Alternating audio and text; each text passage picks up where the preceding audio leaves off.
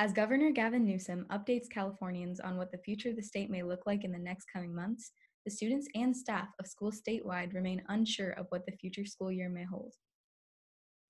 The same can be said for Carlmont High School. COVID 19 is unlike anything else this generation of learners has ever experienced, and the state of the nation changes with each passing day.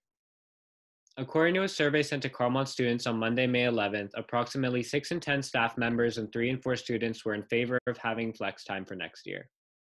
Two schedules piloted during the school year gave Carlmont students the opportunity to have a modified block schedule on Wednesday and Thursday.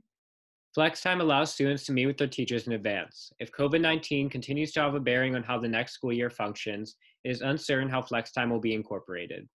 I cannot speak for every teacher, but I think after this experience, everyone is thinking about how to incorporate the online component because even if we do go back to school, um, there's still possibility that we might have to go back to distance learning depending on what's happening. So I would suggest every teacher plan for um, an online component.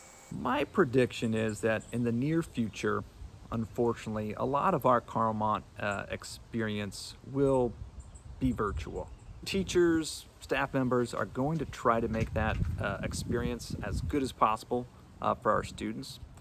But even during regular school, uh, a lot of what makes Carlmont great is the, uh, the energy and the creativity and the inclusiveness uh, of our students. I don't know what sports is going to look like, performing arts, clubs. There are going to be voids, but our students are going to fill those voids. We're going to see um, your fellow classmates create opportunities that never existed before uh, to bring students in and to provide experiences uh, that are going to be new.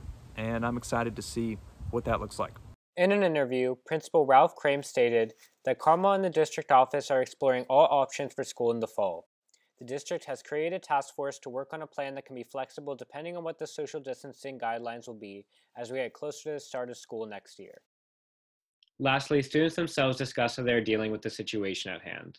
My education, sure, it's not at its most optimal point, um, obviously, this is not the ideal way that most of us would like to learn. I'm a type of learner who enjoys talking to my teachers and my classmates, and I glean a lot of what I understand from class through interactions and through listening to lectures. So, in some ways, I feel like I've definitely lost that key aspect of school during this distant learning time.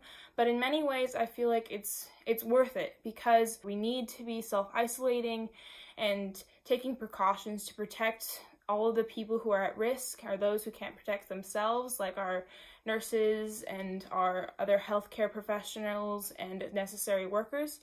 I personally haven't felt much of a struggle since uh, we started distance learning. However, at the very beginning, you know, it was a big shift to go from learning in school and then distance learning. So it definitely did take a while to get used to that. But once I'd gotten into that groove, it was a lot easier and it wasn't really much of a problem. For me, I think it's going to be kind of a reality shock and you're going to be able to see people come out of it and like be more thankful for things maybe. You'll you'll be able to tell people who were affected during COVID-19 versus people who um, maybe are born this year or next year and didn't experience it and thought normality, the status quo was normality. As the crisis continues, we would like to make one last reminder to adhere to the stay at home policies that the government of California has put in place. Much remains unknown about the virus and the extent to which it will spread to. Social distance and stay healthy. Reporting for ScotCenter News, this is Ruya Yaman and Zachary Corey.